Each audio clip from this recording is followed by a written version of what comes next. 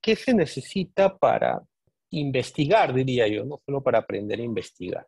No solo para los que nunca han publicado, sino también para los que quizá han publicado una vez, pero todavía no siguen publicando. ¿no? ¿Cuál sería, ustedes considerarían que sería una razones o una de las razones para las cuales ustedes no se dedican un poco más de su tiempo a hacer investigación?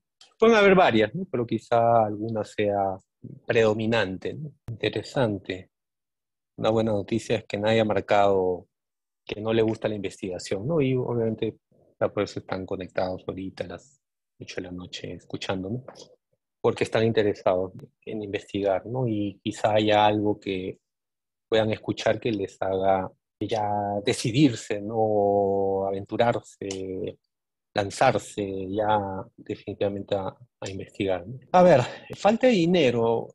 En realidad, la investigación no es solamente ensayos clínicos, o mejor dicho, para publicar en revista científica puede ir simplemente un reporte de caso, una carta de editor, eh, estudios retrospectivos, ¿no? Así que no es tanto una necesidad de dinero, ¿no? Ya, obviamente quizá alguien tenga una idea de investigación que sea muy avanzada, compleja, etcétera, etcétera, sí, por ahí pueden postular una beca, no lo sé, ¿no? Pero antes de eso pueden hacer otro tipo de investigación que no se necesita tanto dinero al menos, sino sí efectivamente dedicación y tiempo, ¿no?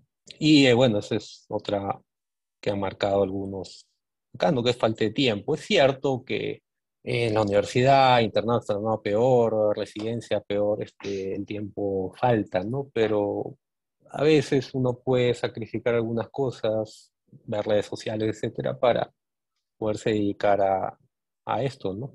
Miedo, bueno, no sé, puede, puede haber miedo a múltiples cosas, ¿no? Pero quizá miedo yo lo juntaría acá, ¿no? Por desconocer el proceso, ¿no? Y qué es lo que la mayoría ha marcado. Pero en realidad no es tan difícil, no es tan difícil este proceso de investigación.